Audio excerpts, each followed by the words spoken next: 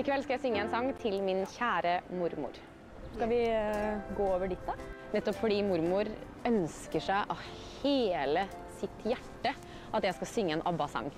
For hun elsker ABBA, og da spesielt The Winner Takes It All. Mormor betyr jo veldig mye for meg, for hun, eh, hun passa meg fire-fem første åra jeg levde. Eh, Da var hun dagmammaen min. Mormor fortjener å få denne sangen i kveld, fordi eh, det er vel ingen som finner trøst i musikk sånn som hun gjør. Eh, I tillegg så er hun jo en nydelig mormor. Lille jenta mi. Lille jenta mi.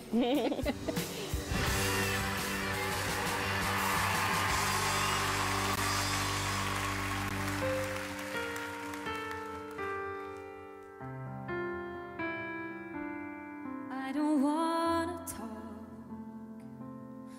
about the things we've gone through, though it's hurting me. Now it's history.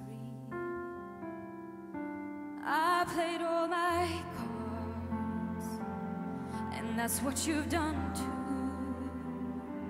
There's nothing more to say, no more ace to play. The winner takes standing beside the victory. That's destiny.